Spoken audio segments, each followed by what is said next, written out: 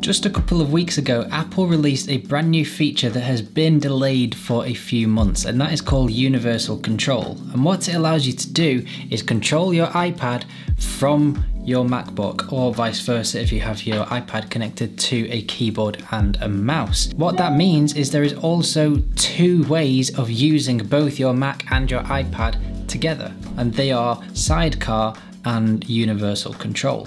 They are both similar in roundabout ways, but they are also both very, very different. So, how are they different, and which should you use if either, or either of them of use to you? That's what we're going to have a look at in this video. Let's get into it.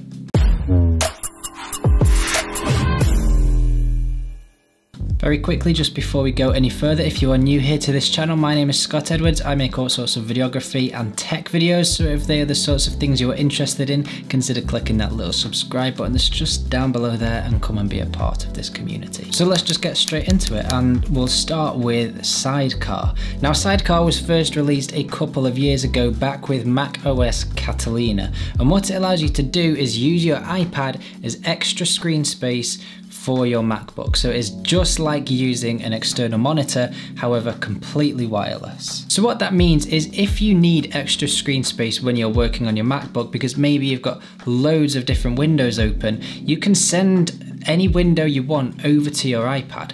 All you have to do is at the top click window and scroll down to move to iPad and then automatically your Mac will connect to your iPad and you can drag windows across the two. You can then also interact with your iPad like you would an external monitor. So you can use your mouse to scroll through things on your iPad. You can use your keyboard to type into things. So maybe you're working on a document over on your iPad while you've got things open over on your MacBook. And it just allows you to interact with it as you would a normal external monitor. It is actually a really great feature and I sometimes think that it doesn't get the credit or the attention that it deserves because it is incredibly useful. For example, if you're out and about working in a coffee shop, if anyone still does do that nowadays in 2022 with COVID around. But if you are working in a coffee shop and you need extra screen space because you're working on a small MacBook Pro or an MacBook Air with a 13 inch, 14 inch display, you might need a bit of extra screen space.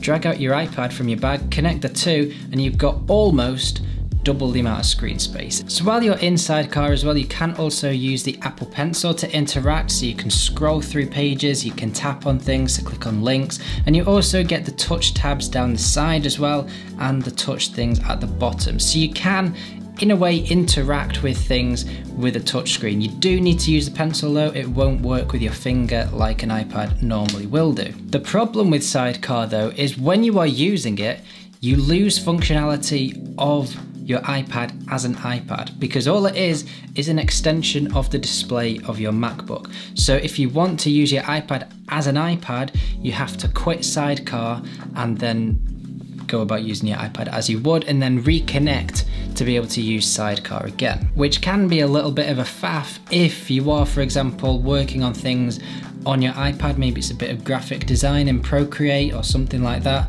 and you also want the extra screen space, you're not going to be able to do both of those things. And that is where universal control comes in. Now this is still only in beta. It has been delayed for a long time, but it was due to come with macOS Monterey when that was first released. We are starting to see what universal control is capable of now that it is available as a beta. But what this allows you to do is different from Sidecar because you still get all the functionality of your iPad. And there is literally no setting up that you need to do at all. All you have to do is place your MacBook next to your iPad like that and drag the mouse across and you'll start to see a little mouse dragging onto the screen and then you drag it through and then you can interact with your iPad like you would an iPad with an external mouse and keyboard. It is that easy to be able to connect the two. There's nothing you have to be able to do. It works absolutely brilliantly. There is no lag whatsoever, which I thought there would have been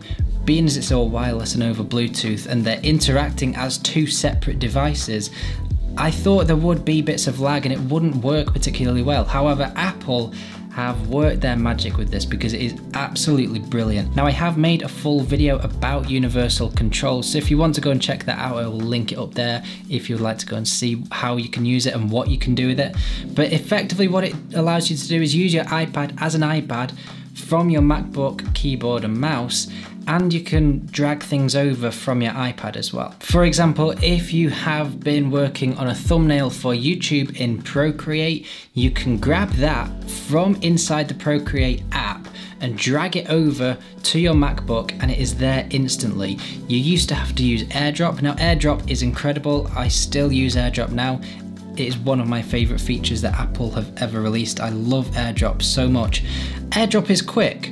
But what this means is it's even quicker because you're interacting with the two in real time. Absolutely mind blowing how this works. The amount of time and effort and algorithms that must have gone into creating this just blows my mind. I don't think I'll ever understand how things like this work, but it is such a useful feature and I've used it a hell of a lot. Even when I'm just editing videos. I can be connected to my iPad and work on little graphics on my iPad and then drag them over straight into a Final Cut Pro timeline, which just saves so much time and it works so well. So both Sidecar and Universal Control are incredible features that are both very useful in their own different ways. For example, Sidecar, if you just need extra screen space for your MacBook, that is very, very useful because you can just drag things over onto there and have more space on your MacBook.